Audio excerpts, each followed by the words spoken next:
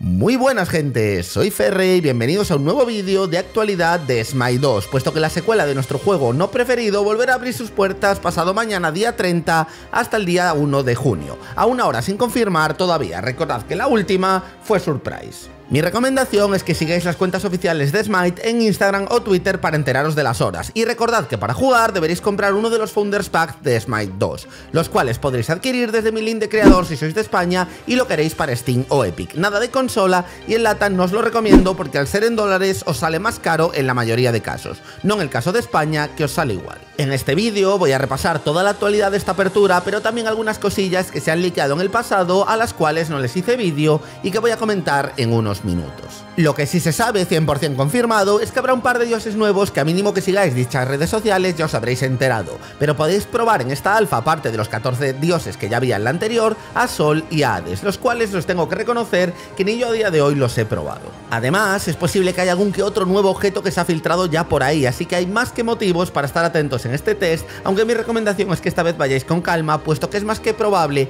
que todavía os parezca que hay menos contenido que en el anterior, lo cual es lógico, porque solo hay un mes de trabajo en dicho parche, así que id a disfrutar lo que haya y de chill.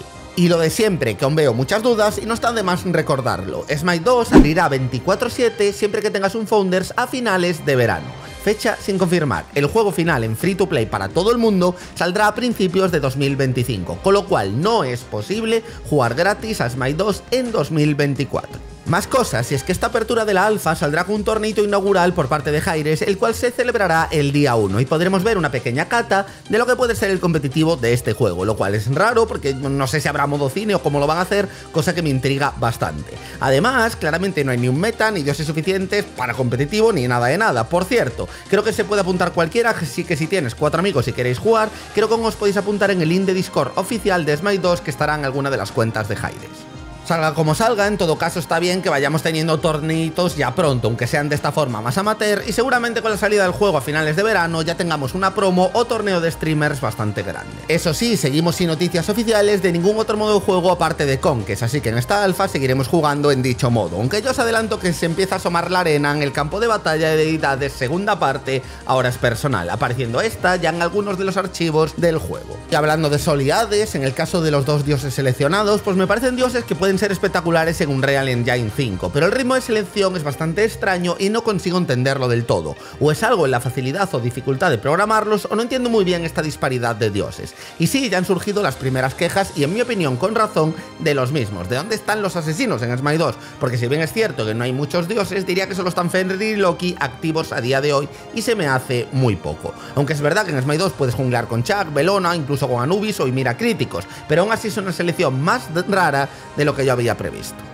Aunque comentar que algún ser de luz a través de un bug inintencional consiguió jugar una Morrigan sin ulti en la anterior alfa cerrada hace un mes. Incluso se ha llegado a jugar una Hecate con el mismo bug. Eso sí, ya os aviso que esta ya está siendo reworkeada por Jaire sin haber salido, porque no le gustó a nadie cuando la probamos en los tests. Más rota que tu corazón cuando te le declaraste. Por cierto, bastante gracioso que Morrigan ya haya roto Smite 2 sin haber salido todavía. Creo que es su nuevo récord personal. Y ahora sí, vamos con la segunda parte del vídeo que son los liqueos del data mining, los cuales no son oficiales y pueden estar sujetos a cambios en el futuro. Empezando con algo que yo os dije y es que ya está metido el mapa de arena en los archivos del juego, pero este aún no está activo. Eso sí, parece que traerá novedades porque aparte de lo tradicional que podremos esperar de arena con los marcadores, minions, toros y demás, parece que esta tendrá una especie de plataformas de lanzamiento que puedes activar y saltar haciendo que al caer metas un knock-up al enemigo. También habrá trampas como cuchillas al parecer que te harán daño y nuevos objetos solo para arena en forma de consumibles, o por lo menos parecen consumibles, haciendo que uno te dé un escudo temporal y otro que hagas un 25% más de daño en tu siguiente ataque. Muy interesante todo esto y por cierto también hay un buffo estilo Fire Ryan en este modo. A saber pero también se han añadido dos mapas nuevos de otros modos de juego. El primero es un mapa de una sola línea, la cual desconozco está pensada para un uno contra uno o más jugadores, pero parece el típico mapa de Duel o de Just como mucho. En el mismo se ven titanes, una torre y un fénix por equipo, además de lugares para arpías y bufos a los lados con una zona en el medio para la lucha. Honestamente diría que es 90% un mapa de Duel, pero no veo un Fire o nada que pueda ponerse en ese mapa. Diría que es una versión además muy primaria del mismo al que le falta trabajo. El segundo mapa es mucho más interesante y tiene de nombre Rift y parece un modo de juego totalmente nuevo. Parece un mapa muy similar al anterior con prácticamente lo mismo, aunque cambiando su zona central. El tema es que parece haber otro plano del mapa ya que en el medio hay un rectángulo que parece un teleport a una segunda zona del mapa donde hay una especie de jungla bastante caótico. Lo curioso es que esta segunda zona es donde parecen estar los bufos y objetivos del mapa, porque en la primera solamente hay dos huecos que parecen claramente para arpías, pero el espacio de la izquierda no parece que albergue ni bufos ni nada. Cuanto menos es un diseño extraño, aunque sí que parece que es un mapa para más jugadores aunque tampoco podemos descartar que sea precisamente la versión mejorada del primero. Al ser data mining tampoco sabes a qué se refiere, con lo cual déjame en comentarios qué crees que son estos mapas. Ah, y por cierto, también parece que han metido trebuchetes en el código, así que no sé si serán para estos mapas o para Conques o qué. Por cierto, también están trabajando en cosas típicas del menú de Smite, como en el perfil de jugador, historial, logos, emotes, etcétera, para que te los puedas poner en Smite 2. En cuanto a más dioses que veremos en el futuro, tendremos a Modred, Susano, Thanatos y Morrigan en la lista a punto de salir. De Modred ya se le liqueó el diseño hace tiempo y vamos a ver en breve sus skills. Pero también tenemos el diseño de Aladdin y su genio. Y sí, tranquilos, que esto es un render de los archivos que saca el chico del data mining. No es el trabajo final de Jaires y obviamente este se verá mucho mejor. Aunque es para que os hagáis una idea de cómo va a ser. Bien, vamos a mirar ahora mismo las habilidades de Modred, ¿vale? Vamos a dar un repasillo a las estadísticas y las habilidades que ya hay en el data mining y vamos a ver qué puede ser o qué puede salir por ahí, no las he visto, así que me va a sorprender. Por cierto, ya no habrá más directos en YouTube a partir de ahora, solamente serán en la plataforma morada o en mi nuevo canal de Kik, el cual os dejo abajo, me podéis seguir, que ayudáis un montón de cara a conseguir los objetivos de contrato y ese tipo de cosas. Si os suscribís antes del 30, participáis en el sorteo de un Founders de Smite 2 y algunas skins en la plataforma de Kik Actualmente hay 8 suscritos, así que son bastantes chances y ayudáis bastante al canal. Vamos allá, Modred. Primero nos ponen un poquito las stats iniciales de las que podemos sacar, que posiblemente sea un asesino la vida es más o menos, eh, todos tienen la misma nivel 1, más o menos, si te fijas en Smite 1, obviamente, ¿vale? Eh, es una vida que puede encajar en guerrero o en asesino, lo que pasa es que al tener tanta ataque speed 1,3 eh, pues seguramente sea asesino porque la suelen tener un poco más alta que los guerreros. Eso sí, desconozco, no tengo ahora mismo en la cabeza las estas de Smite 2, no sé si las de Smite 2 igual cambian un poquito y esto podría llegar a ser guerrero. En principio consideraremos que es físico, 100%, puede ser guerrero o asesino, aunque posiblemente asesino, ¿vale? Nos dicen es un dios físico, eh, eh, usa algunas piedras preciosas, ya sean habilidades, ya sean pasiva, en fin, va a ser críptica la información, tendremos que irla averiguando. No puede confirmar si es asesino o guerrero, pero pero mirando sus estadísticas, como yo he pensado, parece que es asesino. Eh, implementa un nuevo atributo llamado Gruaz, que es ira era ira, si no habré puesto una corrección, con un valor de 100. Tiene algunos efectos relacionados con las venas que se muestran en el siguiente modelo. El modelo ya se vio hace tiempo y eso. Ataque básico tiene una cadena de 4 ataques, con lo cual debería ser asesino seguramente. Los guerreros no suelen tener más de 3, hay alguno que sí que tiene 4, pero suelen tener 3. Uno de los ataques tiene un ángulo grande, pero un radio pequeño, es decir, será chiquito, pero matón, ¿vale? Tendrá un ángulo, o sea, así, como una especie de cono a lo mejor, pero será más pequeñito, ¿vale? Bien, eso para limpiar minos puede venir bien de la jungla, etc. El ataque básico está relacionado con la pasiva y la ulti, seguramente es esto, probablemente se acumula. Pasiva. Pasiva eh, implementa un nuevo atributo llamado ira.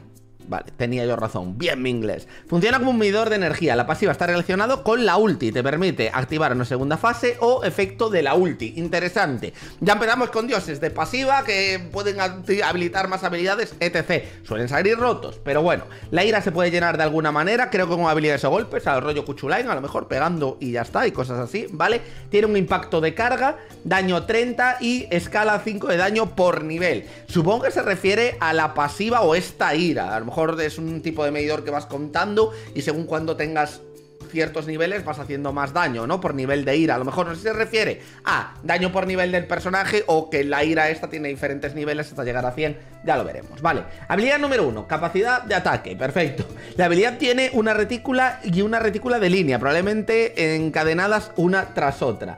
Eh, Supongo que el típico círculo a lo mejor con una raya o algo así se refiere, puede ser. Tiene un ataque en cono. Bueno, esto es que hasta no lo veamos visualmente, parece la típica habilidad de puseo daño barra estándar que tienen todos los dioses, ¿vale? Tiene un ataque en línea que escala más alto que el cono y la habilidad tiene un daño adicional, no está claro cómo se aplica. A lo mejor es, pues eso, da, si das en la línea y el cono, pues haces doble daño, lo que sea, ¿vale? Lo típico, ¿vale? Esta habilidad te cura, ¿vale? Con lo cual, si te curas a ti mismo, ya vale de solo laner, por aunque en Smite 2 ya sabes que los roles, pues eso, ¿vale? Ataque en cono de 50 a 150, de en línea de 50 a 155. A lo mejor tendrá que ver también con el mayor de Hydra, no lo sé. Daño adicional de 10 a 30, ¿vale? Te cura, poquito. Cooldown 10 segundos. Uh, esto no pinta bien, ¿eh? Una skill que si te compras el equivalente en Smite 2 de 40% de cooldown a, esto, una skill cada 6 segundos, cada 6-7 segundos, que te cura y que hace un daño extra, etc.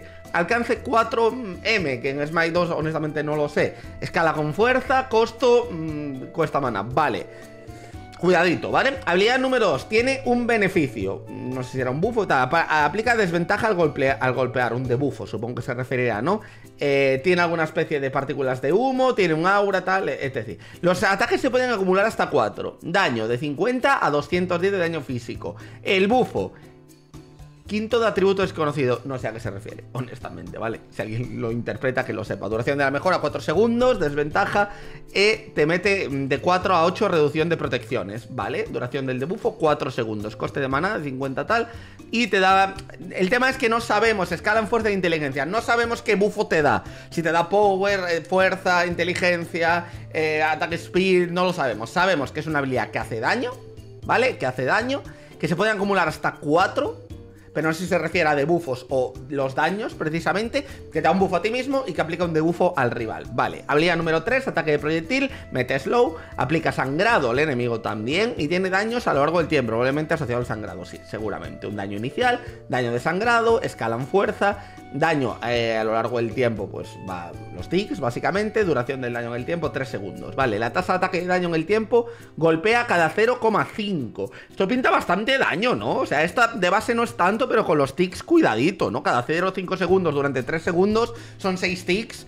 En principio no, y puede pegar bastante. ¿eh? Escala con inteligencia de daño en el tiempo. Es decir, es una habilidad que el golpe inicial escala con fuerza, pero el daño de ticks escala en inteligencia. De momento tenemos una habilidad que escala en fuerza, otra que escala en fuerza e inteligencia y otra que también escala en fuerza e inteligencia. Parece algo híbrido, ¿vale? El slow lo mete del 30%, mm, dura 3 segundos, eh, cooldown 12, vale, alcance 9,6, es largo, ¿eh? entonces este no es tan corto, el de 4 metros, el primer ataque, debe ser un ataque cortito, ¿vale? Cortito. Ulti. La habilidad parece dividirse en dos tipos, una eh, no sé si se refiere rutea, parece que sí, que esto será un root, y la otra stunea, vale, cuidadito, dos, un slow, un root, un stun, cuidadito, ¿vale? Siendo la segunda más poderosa requiere un costo de ira más, eh, o más tiempo para cargarse, es lo de la pasiva. Tiene una retícula rectangular y parece bastante grande en el ancho. Una vez activado, Modder corre hacia adelante, es inmune mientras lo ejecutan, una ulti inmune. Eh, mientras lo ejecuta. Se refiere al ataque, ¿no? No que lo ejecuten a él, obviamente. Tiene un escudo a lo Lancelot, ¿vale? Aplica el stun, aplica root, parece una ulti de Lancelot de alguna manera en aplicación. Eh, deja un rastro de humo y el ataque parece estar en dos fases, una arriba y otra abajo. A lo mejor salta con y cae, algo así. Ahí es donde mete el stun, quizás, no, a lo mejor salta y crea una zona donde es root como Lancelot y luego cae y mete un stun, no lo sé. Daño bases, en fin, escala con fuerza. Eh, también parece que mete debuffos, fuerza reducida 0,5 e inteligencia 0,5. Coste de ira 80, prácticamente se la carga entera, todo el medidor de ira. Temporizador de carga 5 segundos. Como tengas que cargar algo 5 segundos para tirarlo, cuidado, eh. que pinta bastante en me, sinceramente. Pero aquí pone luego cooldown 20 segundos. Ya veremos, ya veremos. Este es el diseño de Modred, ¿vale? Que aún está sin acabar, obviamente, ¿vale? Aquí está feucho. Pero bueno, es más o menos un... Cómo se ve con las dos espadas, etc. Obviamente va a tener mucho más detalles, mucho más tal, se va a ver mejor. Que esto es un render que hace el de data mining. Y poco más. Bastante interesante, la verdad. Es un asesino, diría. Diría que es un asesino por las estadísticas, pero típico asesino que vale de solo y que vale de jungla. Y hasta aquí ha llegado el vídeo. Espero que os haya gustado. Ahora mismo estoy en directo. Te puedes venir a las dos plataformas donde ahora hago directo. Recuerda que en YouTube ya no lo hago, así que tendrás que venirte a la morada o a la verde. Y nada más, dale like al vídeo que ayuda un montón y dime si estás deseando de verdad que salga Smite 2 este día 30 para viciarte todo el fin de semana. Nada más, si os quiere mucho, gracias por el apoyo, sé que los números están bajitos y que sepáis que cualquier tipo de apoyo en comentarios, como por ejemplo el del vídeo de los pros contra los bronces, me ha alegrado muchísimo y me ha animado a seguir en épocas que estamos un poquito más decaídos por las visitas. Si os quiere mucho, muchas gracias, hasta luego.